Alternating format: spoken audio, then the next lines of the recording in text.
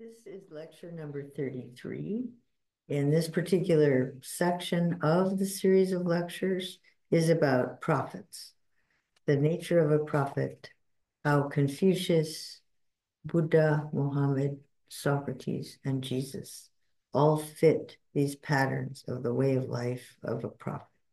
So this is part of a lecture series about creating an international sustainable civilization so I think it's important to um, uh, religious pluralism is definitely a part of that.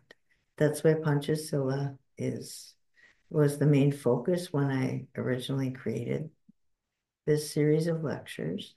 Um, and I linked it together with Panchasila number two, humanism.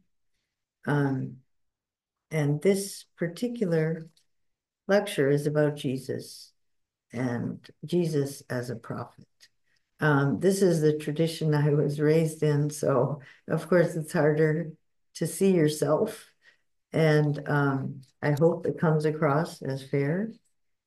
Um, I don't think, you know, I favor it in any way. I think I've learned to appreciate every tradition equally.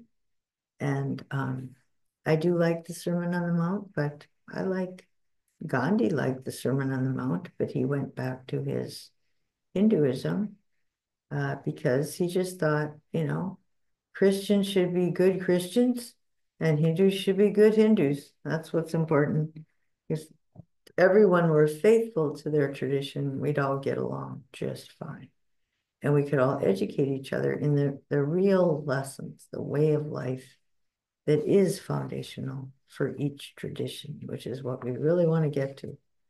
Um, so Jesus' birth and childhood are analogous to Buddha. It's very interesting. Um, and other spiritual leaders, there are stories told about them. So in Jesus' case, before he was born, the angel Gabriel told Mary, oh, excuse me, she was pregnant by the Holy Spirit and her son would be a spiritual leader. While pregnant, she and her husband Joseph had to travel to Bethlehem, but because he had to register his name in his hometown, when they got there, there were no rooms available, so she gave birth in a stable with the animals.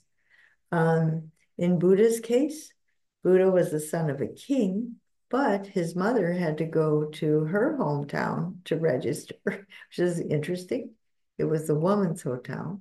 And on the way there, she gave birth under a tree. So, you know, here it is, a young prince.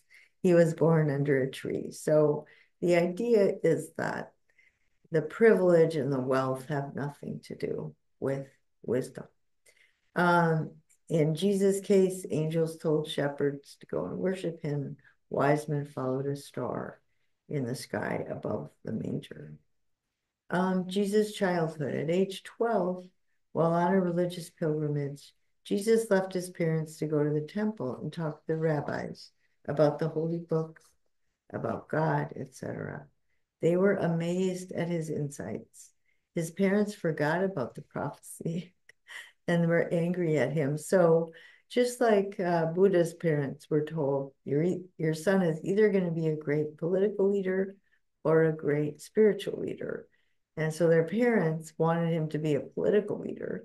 So they exposed him to all sorts of pleasures so that he would get hooked on um, sensation, pleasure, wealth, and he would want to have power. But it didn't work. and Jesus' parents, obviously, they wanted him to be normal, I guess, and they should have figured and Jesus said that, you know, didn't you know this? And that should have reminded them, oh, yeah, the angel Gabriel. Oh, yeah, the Immaculate Conception. Huh, this is starting to play out. but nope, you know. So in his late 20s, he was baptized by his cousin John, and the Holy Spirit descended, and God's voice said, This is my son in whom I'm well pleased. He then went into the wilderness to meditate. So this is where it's very similar to Buddha. Buddha left home. He he saw the four passing sights. He saw a monk meditating and he said, That's what I want. And so he left home secretly at night. He wanted to achieve liberation. And um, Jesus was baptized about the same age, actually, his late 20s. Um, Jesus was baptized and had this experience, um, which experience of the holy, which Muhammad also had. Uh, Buddha, uh, Confucius must have had it because he made a decision to go on the Great Trek. And lots of people have that kind of experience, actually. Um, it's my my kids figured out in their late 20s what they wanted. Um, so he went into the wilderness and he was hungry, just like Buddha sat down under a tree and he was hungry. After 40 days, he was returning to the city when he was tempted by the devil. So again, these temptations are very similar to Buddha, at least the first two. Um, they're based on the human condition, especially pleasure and fear. Each man was trying to transcend physical desires and those two um, primitive drives, survival drives. They want to live for the sake of spiritual life, not survival. So they have to overcome that. And um, the first temptation is he was hungry, and the tempter said, If you're the Son of God, tell these stones to become bread. And so the temptation to sell out for food, Jesus said, No. People do not live by bread alone, but every word that comes from the mouth of God. So he gave up hunger, right? He's not going to sell out to hunger or material desires. The second temptation, devil took him to the top of a temple, said, If you are the Son of God, throw yourself down. Jesus said, Do not put the Lord your God to the test. So, living a spiritual life does not mean um, testing God. So, I've had students who say that some students um, go drinking um, carousing around and then they take risks. Maybe they'll drive drunk and they'll say, well, if God wants me to die, I'll die. And if not, not. So basically, they're testing God or they're um, acting in ways that are um, irresponsible, right? Jump off uh, the top of a temple and and want God to save them or go drive drunk and want God to save them. It's just, uh, yes, that's wrong to tempt God. You, the, you can figure out the virtuous life. You can live a good life, and it doesn't involve tempting God because it doesn't involve doing anything irrational. Um, and then you shouldn't question God's love or concern for humanity right? But we live our lives in love with God and our fellow human beings. We don't tempt God. We don't violate traditional virtues and see if God still has an interest in us. Um, then the devil took him to a spot overlooking the world and said, You can rule all of this if you bow down and worship me. Jesus said, Worship the Lord and serve him only. So uh, these serious when a child comes of age and realizes he's really serious about living a good life. There's also the realization that you can have power over other people and you can have the power to manipulate them and gain political power, any kind of power you want. And then, or you can guide them toward a spiritual life. So Jesus and Buddha both made the same choice. That's why they're the icons that we have. Uh, but that can happen to a lot of people. There are a lot of people who can realize that they're charismatic, that they get, you know, hordes of people will come and listen to them. And then they can decide, well, what do I want to do with that? Um, uh, so I would, you know, my thought is that Donald Trump knows he can get a lot of people to believe in him, right? To give him power, even though he doesn't care about them. And that's the power he has. And so he is clearly a corrupt kind of leader.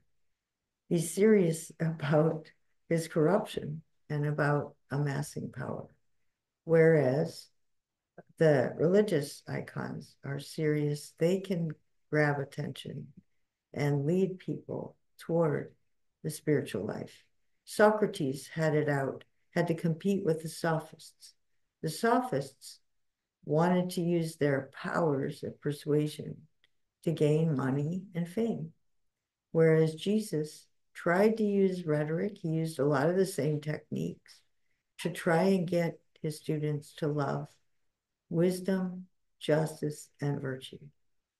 Um, then Jesus called his first disciples. So Confucius had his disciples or his friends. This goes back to Aristotle's view of friendship and the highest form of friendship. They're, they have a common mind and a common idea of the good.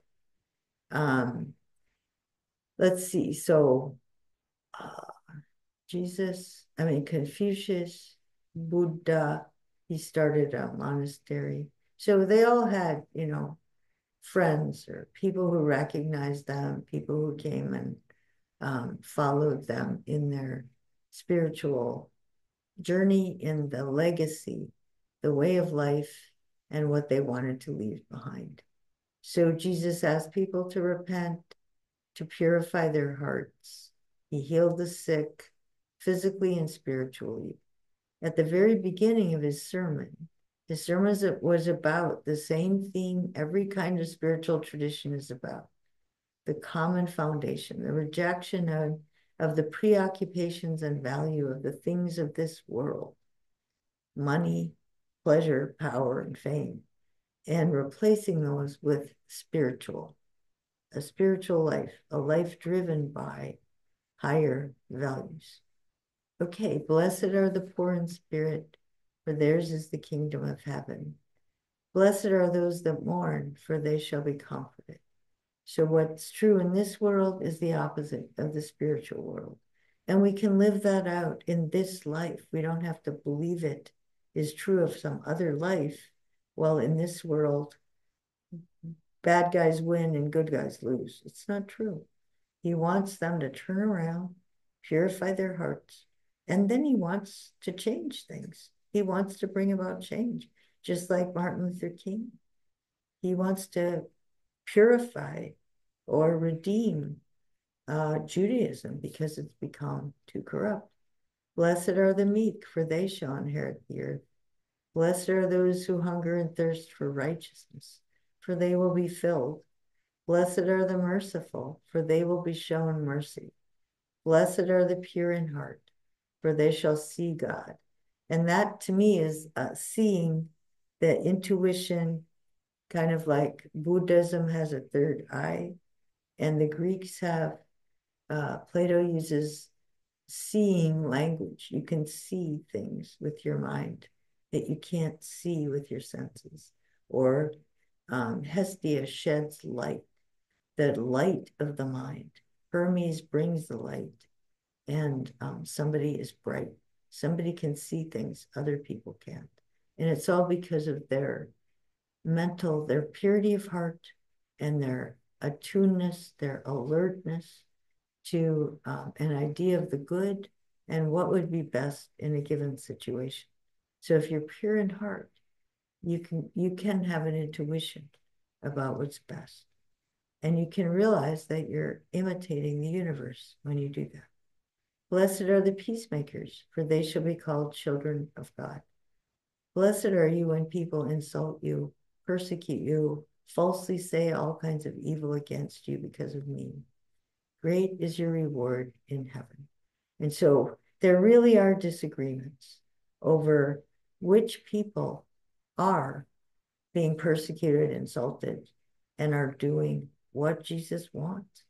And there are people on both sides of the political divide, both sides of every social network that really think they are being insulted and persecuted because they um, they represent what God wants. Martin Luther King, the people who disagreed with him claimed to be Christians. there's white nationalist Christian, you know? So we just have to, we can't, we can just start there, but then we have to keep examining, re-examining. We have to keep giving reasons for why one position is better than the other. And better really means what God wants, as far as we know, which isn't very far. So claiming to know what God wants is pretty arrogant. So claiming that a certain thing is best as far as you know is basically as close as you can get to what God wants without you should never claim to think you know that. It's not knowable. You are the light of the world. Let your light shine before others that they may see your good deeds and glorify God.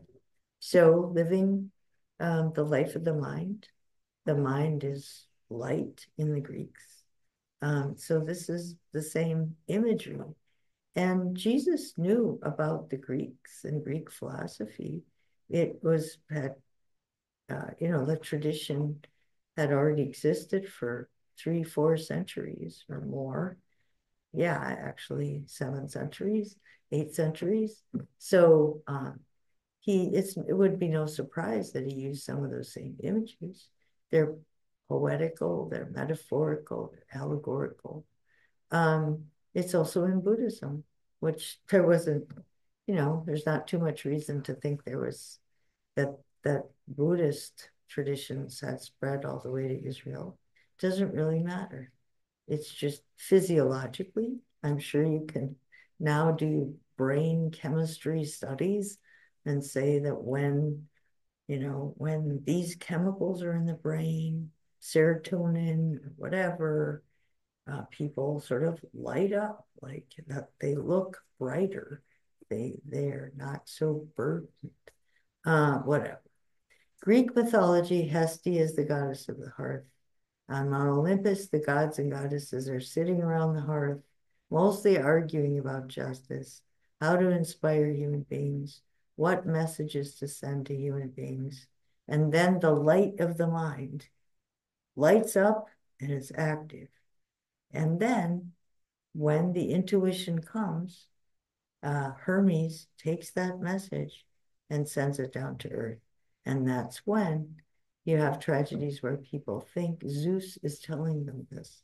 The thing about Hermes is he is both the messenger of gods and he's a trickster.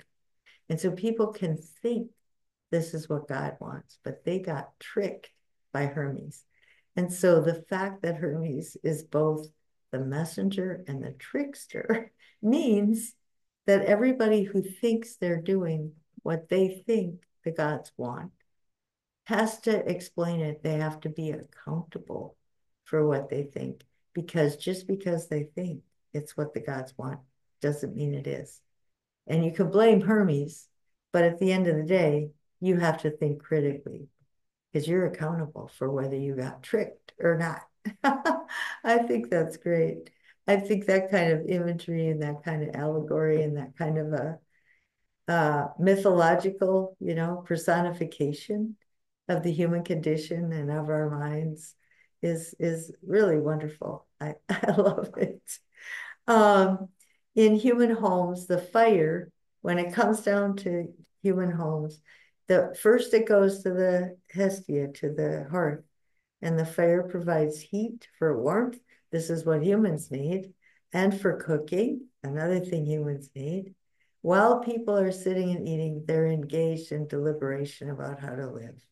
The light of their minds is activated.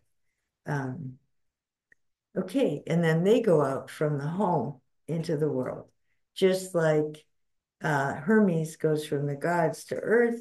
Human beings are at the hearth in the home, and they take that light and go it into the world. Do not think, and this is uh, really important, Jesus quotes from the Old Testament. So to me, this is just like where Confucius says somebody can know 300 odes, like they can have memorized all the holy books, but they still don't know how to live. Um, so Jesus is saying this that you can know the Torah, that uh, you can know the Old Testament, the religious law, all that, but you're still not living correctly. So he criticizes even what the laws say, the letter of the law versus the spirit of the law. So that's also true in um, Hinduism, Buddha's criticism of the Hindu. He says tradition, doctrine, all of that. The point is liberation. You don't need all of that. Um, Muhammad um, set up, actually, kind of like Confucius, he set up deliberate tradition. There weren't any rituals, and he wanted to set up a structured way to actually make the way of life that Jesus preached incarnated into a whole life. So, um, so just keep in mind that the essence of what Jesus was preaching is the essence of what Muhammad wanted to sort of create a set of rituals so that people could actually do that. When they're married, they have kids, they have jobs, they govern, they um, advise, they play out all those roles that Jesus couldn't because he died too soon. But uh, Islam, Muslims don't disagree with Jesus' basic way of life. Do not think I've come to abolish the law or the prophets. I have not come to abolish them, but to fulfill them. Whoever practices and teaches these commands will be called great. Your righteousness, your way of life, your ergon, must surpass that of the Pharisees and teachers of the law. So the religious leaders who know the holy books are not righteous. It's righteousness, and people can be righteous without knowing God. It's a theme in all the prophets. You've heard it said, You shall not murder. One of the Ten Commandments, Thou shalt not kill. Anyone who murders shall be judged. But I tell you, Anyone who is angry with a brother or sister will be subject to judgment. Jesus wants purity of heart, or Jesus wants what the psychologist, psychologists would say, internalizing the virtues, or what Aristotle would say, Jesus wants people to uh, take pleasure in doing what's noble, as opposed to moral strength. Moral strength is where you don't really desire to do what's right, but you stick to it and you do it. Um, okay. So settle matter matters quickly with your adversary and don't go to court. So again, this is similar to where Confucius says a good leader, when there are too many laws, it's a sign that people's characters are corrupted. People just disobey the laws. Um, what a good ruler really needs to do, and this shouldn't be just the the king or the you know the one person on top. This is anybody with authority should be an inspiration. They should internalize things and they should rule mostly by example. And they need to gain the trust and they need to have goodwill for people and they need to gain the trust through the force of their moral character. Um, otherwise, it's just a bunch of laws that will just make people, it'll, it'll even corrupt people's characters further. And that's what Aristotle said.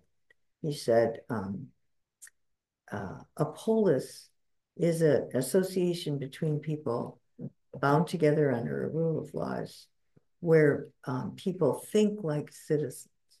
And so the laws just function to help weave them together better and to institutionalize this quality of life so you can pass it on from generation to generation. But if people have weak characters or wicked characters, then the laws only function as tools to prevent people, wicked people, from harming each other. And that is a polis at all. And so Jesus is saying that. He's saying, purify your heart, settle matters with your, with your fellow citizen, and don't make them another law or run to the law courts, because it, then it's just a bludgeon, which is a problem in America. You've heard it said, you shall not commit adultery. I tell you, anyone who looks at a woman lustfully has already committed adultery with her in his heart. If your right eye or another body part causes you to stumble, cut it out. Okay, I mean, this is purity of heart, big time. Um, it's obvious that Americans don't, you know, Gandhi knew what he was saying when he said, you know, this is a really good religion and Westerners should really try it. Because, you know, Westerners are not pure in heart. They don't do what Jesus taught. Um, my students, of course, have some trouble with this. And so much corporate advertising is designed to feed lust. Because if you feed lust, people will buy all sorts of stuff to fix their bodies so they're more attractive to the members of the opposite sex, so that people will lust after them. My gosh, you know, in the corporate world, in the economic world, lust is a major um, pleasure exploited to make money. Um, so obviously, our culture is at war against nature. You know, we don't like our bodies. We want them to be artificially thin or whatever. And it's also we we make war against the spiritual traditions and the human spirit. And we should call it out. We should not call it Christian.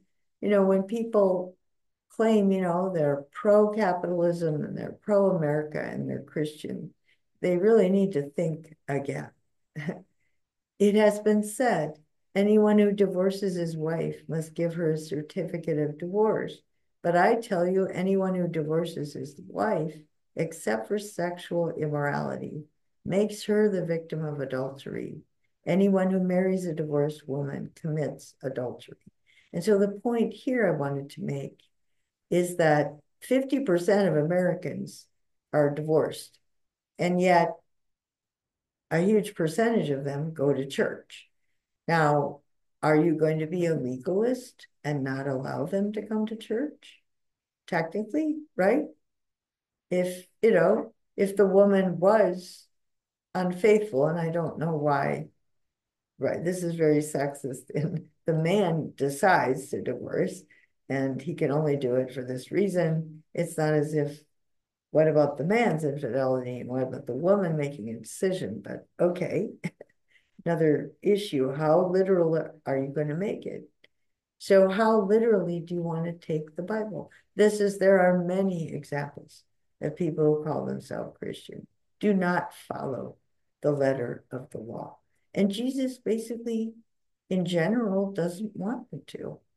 Um, and I'll give an example in a minute, but Okay, so if we try to say that people from this denomination are morally better, or people who are Christians are morally better, it's just, you can call people out on that a lot because they don't follow even Jesus' Sermon on the Mount, which is sort of the, the central mission statement. And so you have to decide I mean, personally, I think if people, if someone's married to someone that has no interest in being faithful, either sexually or spiritually, they don't love the partner. Uh, it seems it seems to me it's okay because marriage is a relationship, if and it's based on love. And if you marry someone that you think loves you and they don't, um, I, to me, I don't have any problem with divorce on those grounds because you're walking around giving the impression that you're truly married in what marriage really is, for better, for worse, and all that. And it's not true. So you're living a lie. But that's up to people to make decisions about. It's just that very few people follow literally what Jesus said. You have heard it said, an eye for an eye, a tooth for a tooth. But I say, do not resist an evil person. If anyone slaps you on the right cheek, turn to them the other also. If anyone wants to sue you and take your shirt, hand over your coat as well. Give to those who ask you and allow others to borrow from.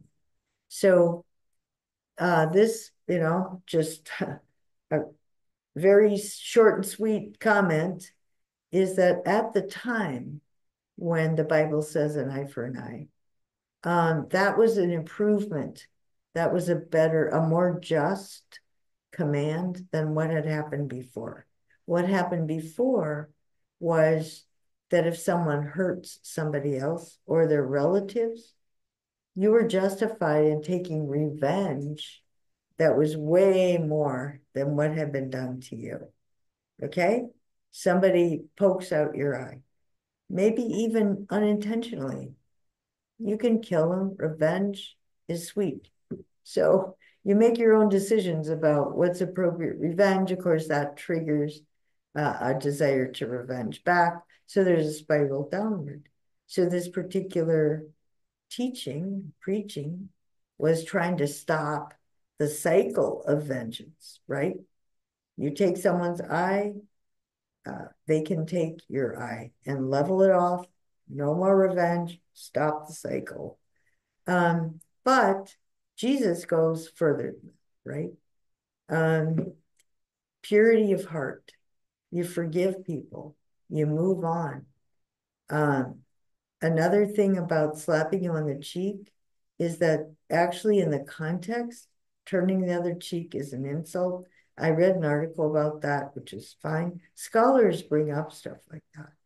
But if anyone wants to sue you, take your shirt, hand over your coat. So just the idea that you don't want to create animosity unnecessarily. So I would associate this with the virtue of sociability in Aristotle. It it's some level of it is just necessary for practical wisdom. Of course, Jesus, uh, agape or the love of God and Christian charity goes way beyond the demands of practical wisdom, but it's consistent with the demands of practical wisdom. Uh, give to the one who asks you, allow others to borrow from you. So, um, certainly you can't make a system of laws based on it's it's legal for you, you know, to take someone's shirt and um, it's, you know, there's no legal recourse. You should, I mean, you can't behave this way and have a legal system. It goes way beyond the demands of the legal system, but that's the kind of quality of life that makes it possible to have laws that keep keep promoting and weaving people together and motivating people to develop a higher quality of life. So the laws really function just as a way to sustain and pass on a very high quality of life. But you have to have purity of heart. You know, you have to do that. Okay, so um all right. You have heard it said, love your neighbor and hate your enemy. But I tell you, love your enemies. Pray for those who persecute you. Be perfect as your heavenly Father is perfect. I I mean, this is another way that that Aristotle would say to have a polis, to have a healthy society, you have to have trust and goodwill for each other. So so you do have to overcome animosity. You have to forgive. You have to convey to other people that you do have their well being in mind. So that's praying. For Jesus, you know, a monotheist is praying. For Aristotle, a monist, it's um, it's having goodwill, maintaining your idea of the good through it all, and having enemies, not letting go of the past, uh, maintaining bad will, right? um, resentments, grudges, is uh, makes you lose your mind. Uh, so, in the um, the virtue of anger, you can have too much or too little, and there are people. He says, some people overreact. Most people do, but some people underreact, but they hold a grudge. So that would be it. That you hold a grudge. You have this enemy, and um, so Aristotle says you should let that go so that you can have a mind, so you can actually have practical wisdom when you make decisions. You're not going to be biased based on old grudges. Uh, Jesus, it's the love of God. Uh, uh, forgive, forgiveness. Matthew chapter 6. When you give to the needy, give in secret. When you pray, pray in secret. God knows what's in your heart. When you fast, do not let others know. So these would be the traditional rituals, um, but traditionally they're done in public. And so Jesus changes that and says, do it in private. Don't, you know, show off. We don't need public rituals. We just need people to have purity of heart. And that will come out over time. People will know if you have that kind of character. You don't have to show off. Um, store up your treasures in heaven, not on earth. Don't worry about not only money on earth, but scoring any sort of points about being righteous. And the other issue is you cannot serve both God and mammon, money.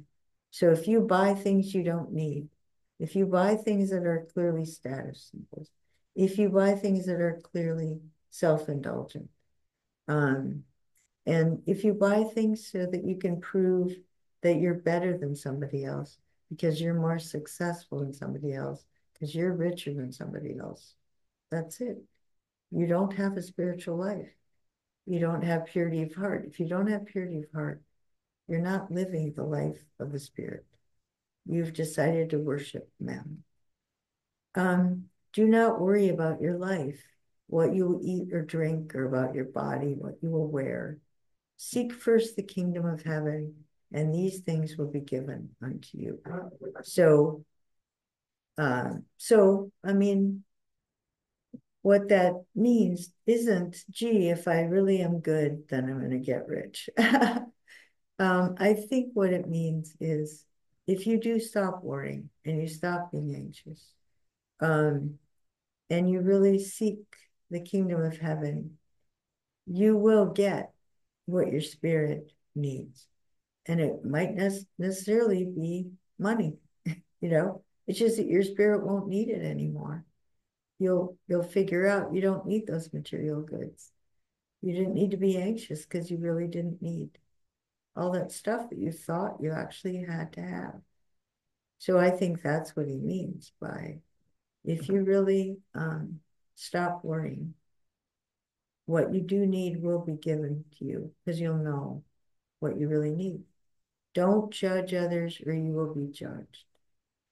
And why do you look at the speck in your brother's eye and ignore the log in your own eye? This is hypocrisy. So Aristotle would agree with this. You can't have practical wisdom and you can't have a microcosm in the macrocosm if you judge other people because you're only judging based on external behaviors. You don't know the quality of their heart. That has to be lived out in their whole life, in their character. So when we interact with people, there's very few people we know very well. That's why Greek tragedy is about people who have bonds of affection with each other, usually family members or lifelong friends. Or in Plato's dialogues, it's fellow citizens because they do have to collectively govern the city.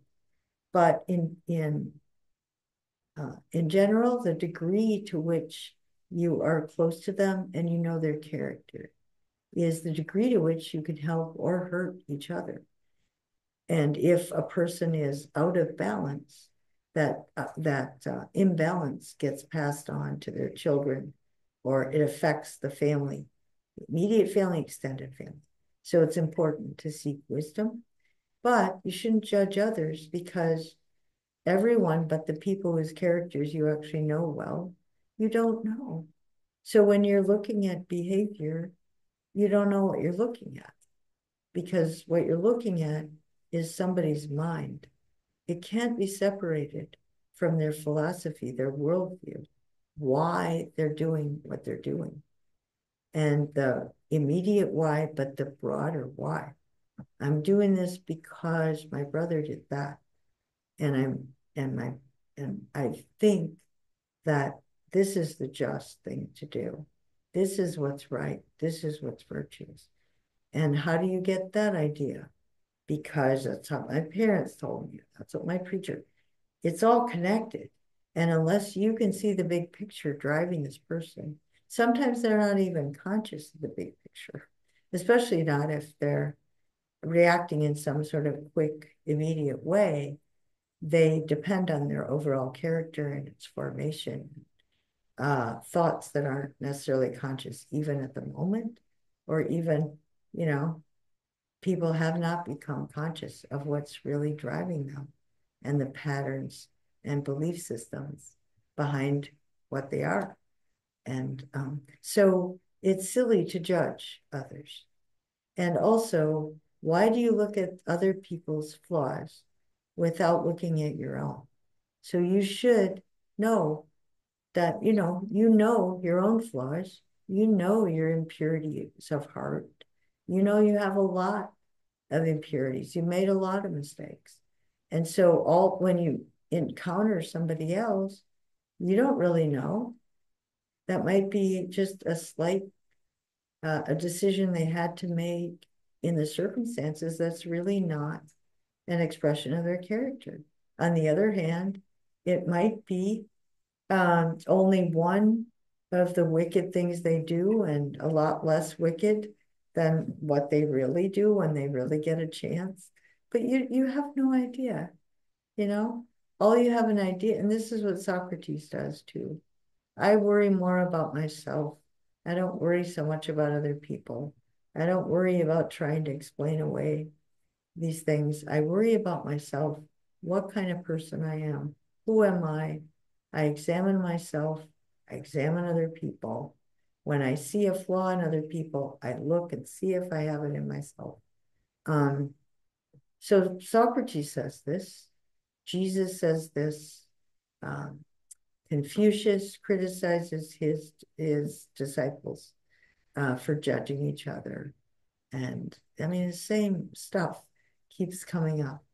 I'm sure there's a quote in the Quran um, Buddha, right?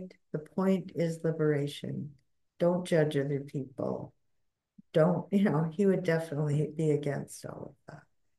Um, ask and it will be given. Seek and you will find. In everything, do unto others what you would have them do to you. This sums up the law and the prophets. So, of course, the golden rule, uh, Confucius had the negative golden rule. Every one of those icons um, does to others what they would want done to them, or and doesn't do to others what they wouldn't want. And they take pleasure in that. And it's a whole way of life. It goes way beyond just the golden rule. It's going over and above what you need to do. It's um, extending your hand, right? Forgiving. And then when it says ask and it will be given, seek and you will find. The real key there is if you're living a really spiritual life, you know what to ask. And when you know what to ask, you'll find it. For example, you can't um, ask that your sister get over her grudge from 10 years ago. But because you can't control that. But you can ask, well, how should I think about my sister? How should I think? Just ask and just leave it an open question. And usually, if you really open your mind, you don't shut anything down. You don't say, I'm mad at my sister. Don't judge your sister. My sister doesn't do this. Frankly, my sister's really good about this. I don't know why I came up with that example, but family systems are crazy. Um, but if you just keep an open mind and you um, hold the question, eventually something will probably come to you. You'll have some idea. Or you'll give up asking and it won't bother you anymore.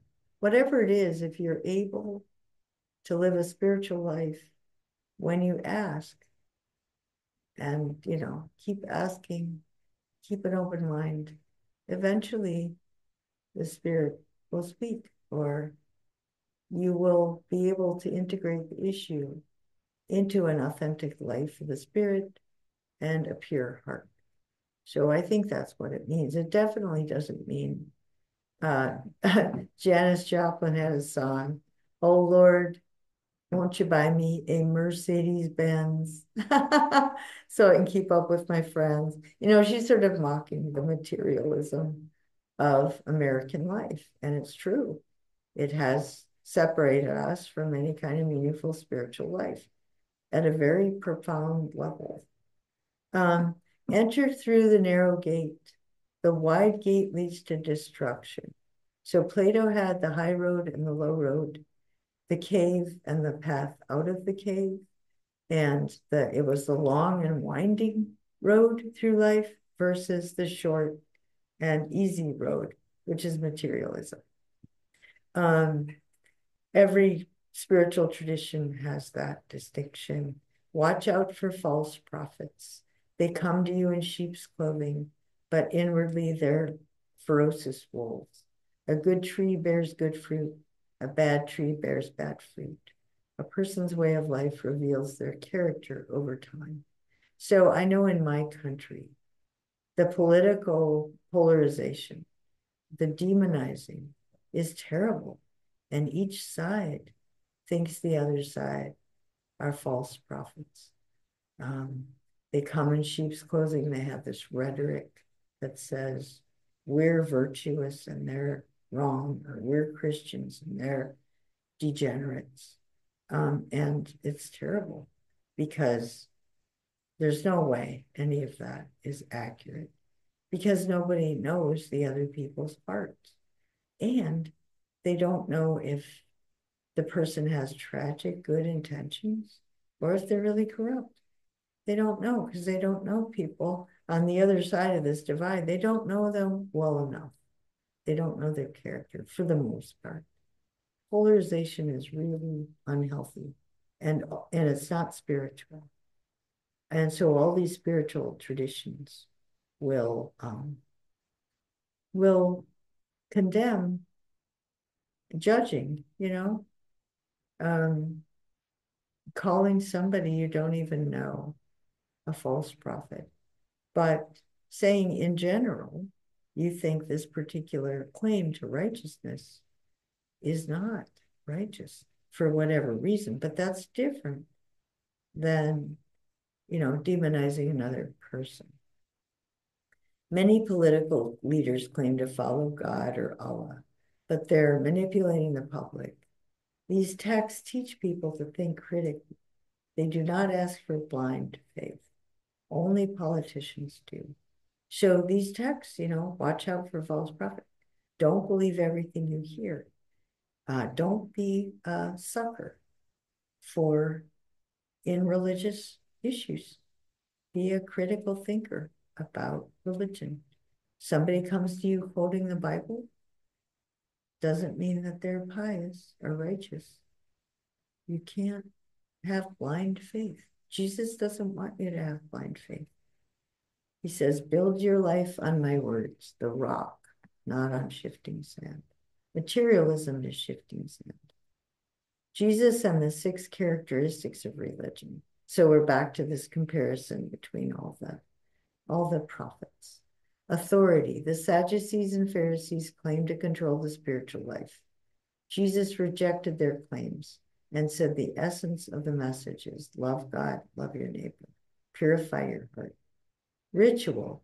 Jesus baptized people, even though he was not an ordained rabbi.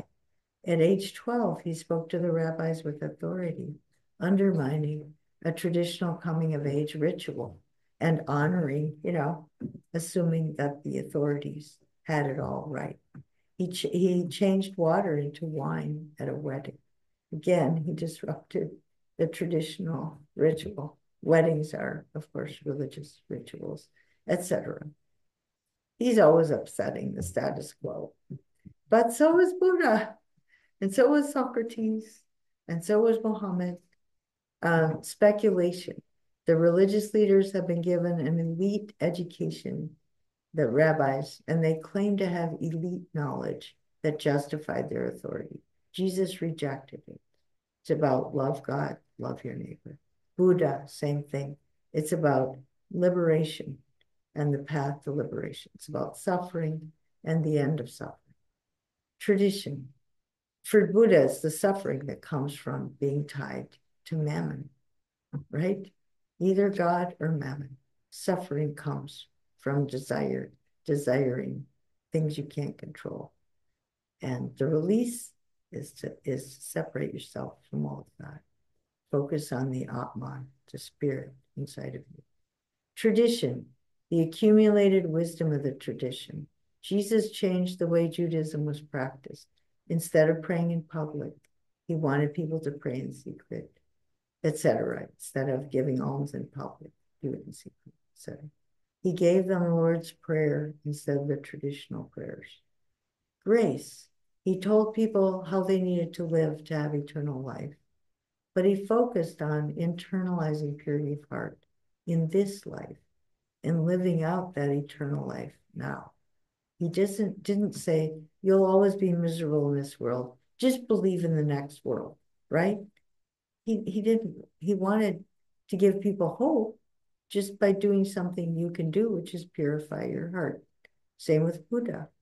You need, you know, he gave people hope by giving this this method for how to basically purify their hearts, and they'd be liberated, and that would make them hopeful, right?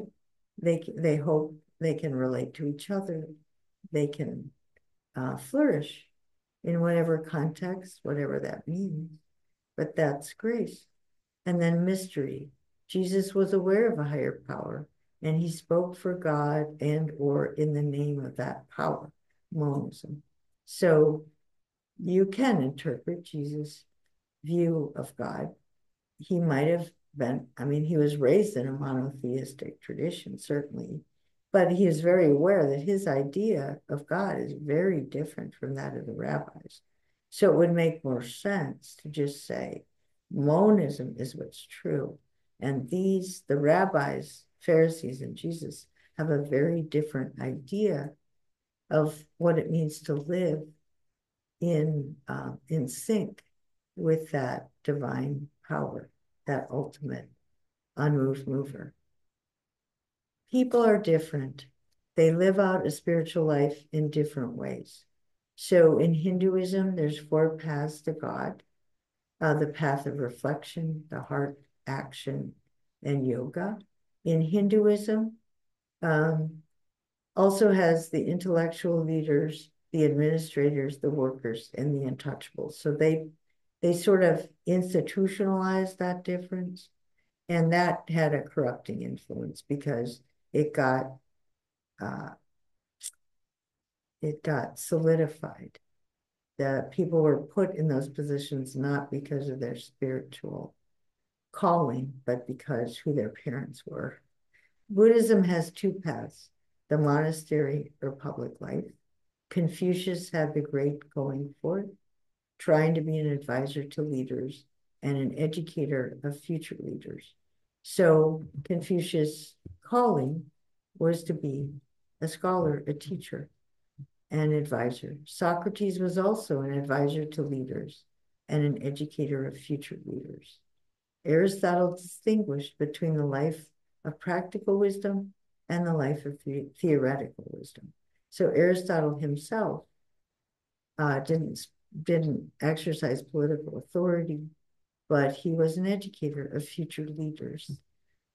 Um, Plato was an educator of future leaders and an advisor to, uh, he was asked by uh, the leader of a city state to educate his son so that the son would take over and be a philosophical leader. And that failed horribly. And Plato barely got back with his life. So, but he did try. And he did think his educational system would give him um, the tools to be able to advise leaders, current leaders, and to educate future leaders. Islam also has intellectual leaders and teachers, my friends who are engaged in the interpretation and application of the Quran and other aspects of Islam. And then it has the people who go out in the world, the people that they have taught, or the people that they, and they still can have insights to advise current leaders in any field. Okay. They're different, Paul says this. So the Bible, Paul, the New Testament, they're different gifts, but the same spirit. They're different kinds of service and kinds of working, but the same God works in them all. All of them are dedicated to the common good. To one is given the gift of wisdom, another knowledge, faith, healing, prophecy, overcoming religious intolerance, class differences. We were all baptized by one spirit into the body of Christ, whether Jews or Greeks, slave or free. So, you know, Paul's already having trouble during the early church of people being religiously intolerant. Paul opened up the Jesus movement, um, the trigger, you know, what inspired people to carry on Jesus' story. Paul opened it up to Gentiles. Well, then the, there was religious intolerant. There were the Jews who didn't want Gentiles and then the Gentiles maybe didn't like the Jews. I mean, already there are these animosities, and Paul's getting so frustrated. And then slave or free. The early church was actually communist, socialist. They shared their material wealth, which makes total sense. If you're not going to worship mammon, you should, you know, definitely even out. Everybody should have the same standard of living. For Aristotle, it would be middle class. But anyway, so again, within the, the churches, the church at Corinth, there was animosity between the people who were slaves or originally slaves and people who were born free. it's frustrating. Okay, today psychologists have created sophisticated personality tests to find out what kind of job would fit a person's personality. These are purely secular categories dedicated to help a person pursue their own good in this rational, calculating way, especially a job, not the common good or the spiritual life. So the modern Enlightenment discipline of psychology was originally anti-religious. It's being replaced now with this notion of spirituality as having an integrated uh, psyche. So um, so let's see what, oh yeah, I was going to say that even within the traditions, when they have this understanding of different spiritual callings, that really fits with monism better than it fits with monotheism, because people then will disagree. If it's a personal God, well, what did he say over here in Leviticus? What did he say over here in uh, Proverbs? what did he say over here in the New Testament? But if it's monism, then you do look for these patterns and you also acknowledge differences because monism should lead to pluralism, different people with different gifts, but there's patterns in the nature of those gifts because of what people need to flourish. So there's some people who naturally gravitate toward relationships. And um, because people need healthy relationships and lots of different levels of their lives. People need each other in lots of ways. Children grow up within many different social networks. So they feel a calling to weave together people in various social networks, political institutions, creation of laws. We all need all these things. And so and that's what monism will say. It's a basic patterns in human affairs inevitably leads to pluralism. Pluralism in religious traditions, pluralism in social um, well-being, pluralism in, in what people, different people need in order to flourish. Um, but there's, but we can understand that because there is this underlying order. So that's that's Jesus in a nutshell, I guess, as a prophet.